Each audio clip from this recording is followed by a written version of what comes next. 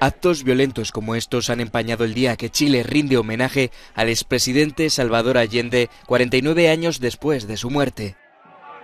Este se suicidó el 11 de septiembre de 1973 tras comprobar el triunfo del golpe de Estado de Pinochet. La conmemoración llega en un escenario político complejo marcado por el rechazo a la nueva constitución que buscaba superar la Carta Magna heredada de la dictadura.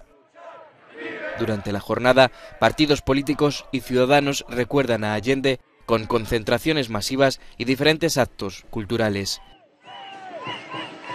El presidente de Chile, el izquierdista Gabriel Boric, ha anunciado este día la puesta en marcha del plan de búsqueda de detenidos desaparecidos durante la dictadura.